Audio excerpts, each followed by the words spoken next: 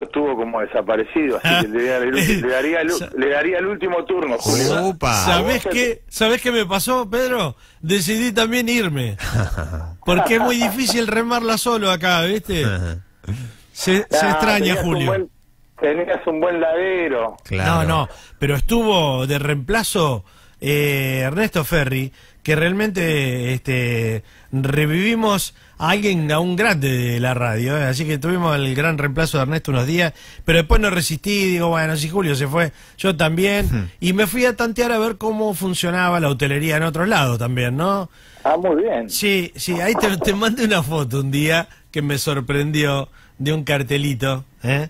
que creo que también ya eh, se ha visto por todos lados, ¿no? Eh, pero más allá de eso, eh, ¿cómo están viviendo hoy desde el lado de adentro de los hoteles este fin de semana extra large? Mirá, con mucha, con mucha alegría, eh, fue un buen, fue un fin de semana, yo creo que de los últimos 10 o 12 años, el mejor de un 12 de octubre, un feriado así, que con tanta, tanta gente, eh, la verdad que estamos, en ese sentido estamos contentos, en lo que es ocupación y laburo estamos contentos, estamos renaciendo de vuelta de las cenizas, eh, la gastronomía está laburando a full, la hotelería empezó hace un mes y medio, después del 12 de agosto, de la hora 12 empezó a trabajar muy bien, estamos teniendo muy buenas reservas para el verano. Eso, la pregunta del millón era, ¿se corta? ¿Esto es un hecho No. aislado? No, no, a ver, ¿cómo- ¿cómo es un hecho aislado? Claro, este fin de semana eh, fue un hito en la No, historia no, o ya de no, ahora en más quedamos todos los fines de semana con actividad. Yo creo que quedamos todos los fines de semana. Mi, mi percepción es que vamos a quedar todos los fines de semana con actividades porque la gente necesita salir, quiere salir, busca salir y Pinamar es una opción interesante para ese tema. ¿Es una gran oportunidad para, para el turismo en la Argentina, eh, Pedro, esta? Digo, una gran oportunidad porque por momentos teníamos como un aplazo, ¿no? Cuando nos comparaban con otras plazas de otros países. Este, ¿Es una gran oportunidad de convencimiento, de convencer a la gente con nuestra oferta y de mejorarla? Sí, sí, es muy buena la pregunta. Es muy, es muy buena la pregunta, lo que no hay que creérsela. Si acá salimos a creer que esto lo hicimos nosotros, si nosotros creemos que la, esta afluencia de gente que estamos teniendo es porque nosotros hicimos un trabajo, Claro. creo que estamos equivocados. Si nosotros tomamos este ejemplo que decís vos, de esta afluencia de gente, y nos decimos, che, mirá, pongámonos las pilas, hagamos un laburo concienzudo de acá a 5 o 10 años, Pinamar se puede trabajar todo el año, sí, esto sí puede pasar, esto te demuestra esto. Esto, esto, este, este, este evento, este fin de semana y lo que está pasando todo el mes de septiembre, que estamos teniendo tanta gente, te demuestra que si se prepara el destino, si se vende el destino como corresponde y se le adecua a lo que la gente quiere, nosotros podemos trabajar todo el año. La cuestión es ponerse a hacer un trabajo en serio y esto incluye a todos los partidos políticos, a todas las cámaras empresariales y no empezar a hacer mezquindades ni a buscar y- de- y- a decir estupideces, ¿no? Y, y la alianza, una buena alianza positiva con el Estado también, ¿no? Obviamente, obviamente. No puede funcionar sin el Estado en Argentina. Pedro, en O cuanto... sea, el esfuerzo lo va a hacer el privado, pero el Estado tiene que estar presente. Yo, yo, mirá, yo tengo un, un- no es un refrán, pero es lo que siempre digo. Yo quiero que el Estado me venda el destino, el Estado divulgue y promocione el destino, y las otras, las cámaras, vendamos, porque el Estado no sabe vender. Claro, claro. Sí, está bien. Y el ofrecer el termina. producto y ofrecer el producto lo tienen que ofrecer ustedes y, y Sí. mejorar la calidad, ¿no? Ahora, hablando del y Estado... poner plata, y poner plata nosotros, y manejarla nosotros, y no esperar que el Estado, porque el Estado nos saca mucha plata, hacer carne en que el Estado es el culpable de todo. Te das cuenta, te das cuenta que hoy si, si la gente decidió venir, si vos pones un, vos le das una, una continuidad a Pinamar, te unís con Madariaga, te unís con Villa Gesell, tenés un día de campo, un día Gesell, un día Carilú, un día Pinamar, vos tenés un destino de cuatro días en invierno. Más que eso no tenés para darle. Bueno, trabajemos, seamos realistas, trabajemos en eso. Lo, lo que no es poco, Pongamos- ¿no? Porque No, es bien muchísimo. trabajado es muchísimo.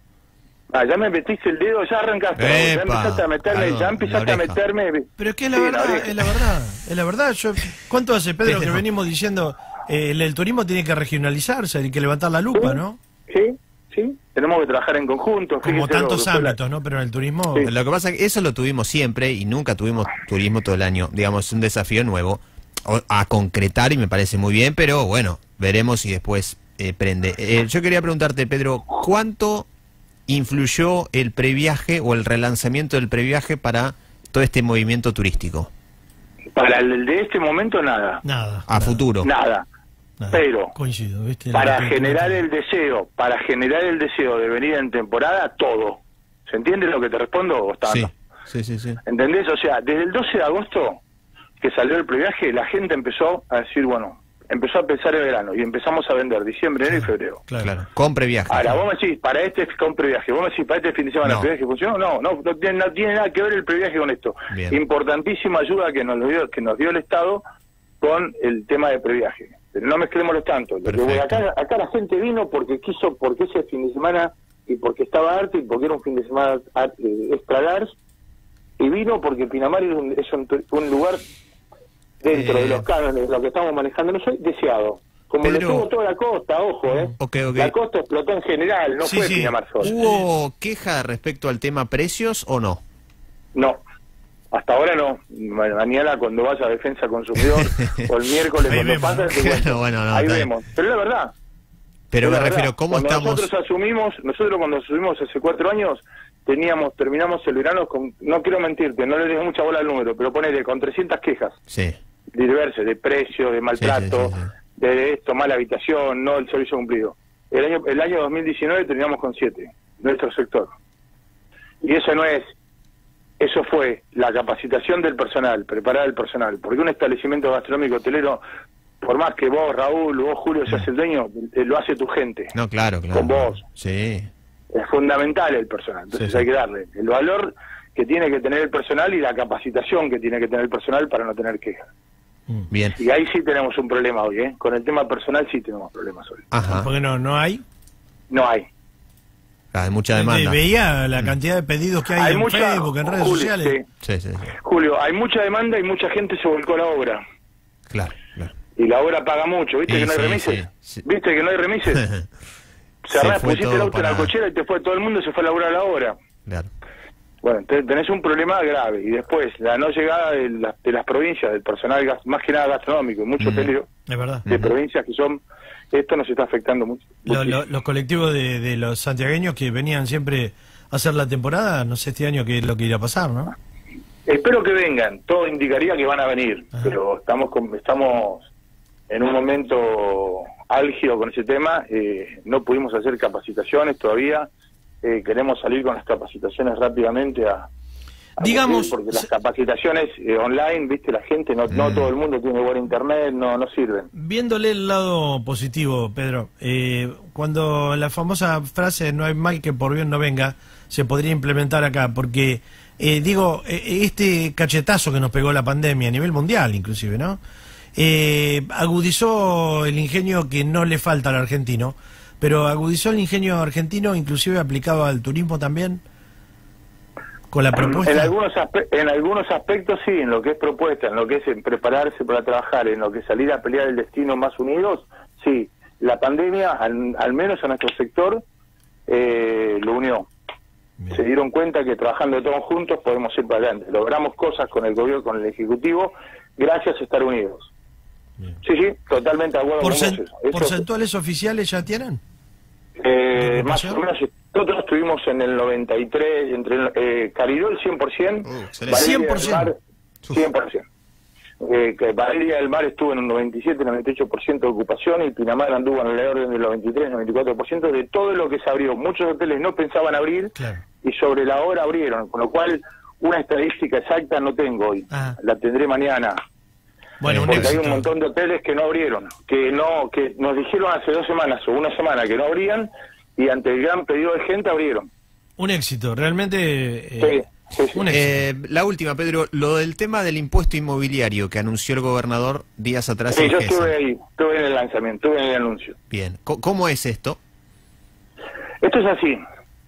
Marzo del 2020, septiembre incluido del 2021, eh, nos exceptúan del pago por la crisis y el de haber estado cerrado y todo, los- todo lo que generó la pandemia. Mm. Nos exceptúa el pago. Los que pagaron van a tener, según palabras del gobernador, un crédito de libre, un crédito fiscal de libre disponibilidad para imputar Bien, a cualquier pago que tenga que hacer con la provincia. perfecto. Esto sale por ley, esto se pasa mañana, a- mañana va a- a- va, se va a llevar, se va a elevar desde el Poder Ejecutivo Provincial al Senado. Yo tengo mañana una reunión en Mar con todos los presidentes Bien. a las 11 de la mañana para ver cómo manejamos esto con el Senado, porque es urgente, para nosotros esto es un alivio fiscal, queremos seguir luchando por, por que nos declaren industria, pero bueno, pero es una ayuda que, que agradecemos al gobernador, como agradecemos al intendente Yesa, como agradecemos a cualquiera que nos ayude, esto no es política, sino es, No, claro. sostener una... Economía. Es sostener, sí, es sostener una, una cámara y un Mm. y mucha gente y muchas ciudades que vivimos esto. Eh, la verdad que es una ayuda importante. ¿Es para todos, Pedro, o para, Para los que abrieron, los que... No, para todos los hoteles, para todos los establecimientos hoteleros Ok, bien, perfecto. de la provincia de Buenos Sí, Aires. sí, hablamos de la provincia, exactamente. Sí. Bien. Pedro, gracias por estos minutitos dispensados. ¿eh? ¿Qué, qué te sirvo, Julio? Sale para yo la, no- la eh, habitación 7. ¿sabés Yo qué? lo único que sé, yo lo único que sé, a Yesa, a todos, a los llevas ahí, los pones ahí, a mí ni me invitás, a mí ni me invitás. Tenés razón, Pedro. no. Tenés No, razón. lo lleva ahí. No, no, me siento mejor tratado por vos, Julio. Ah, bueno, ¿viste? Sí. Esto- No, esto no, no. Bueno, escúchame, entonces Mira, para mí- Julio volvé, Julio volvé. Escúchame, el- el lema. Abstinencia, Un- abstinencia de hablar. Para No mí, una lágrima y... Y un recuerdo. ¿Habrá, ¿habrá algún budincito, algo, Ah, algo Hay, dulce? hay un budín, hay un budín de pan de medialunas de la jirafa ¡Opa! que no sabe lo que puede ser. Ya si me quieren venir a tomar un las café, a las 10 y cuarto los espero acá. Lástima, la Pedro. charla se degeneró un poquito, pero Abrazo, bueno, pedimos mil gracias, disculpas a la gracias. gente.